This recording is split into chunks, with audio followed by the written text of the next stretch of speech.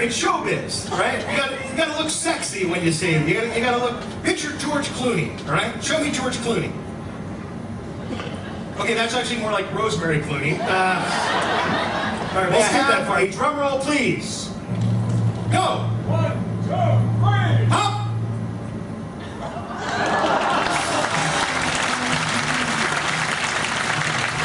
Thank you. Let's give that applause to Gary.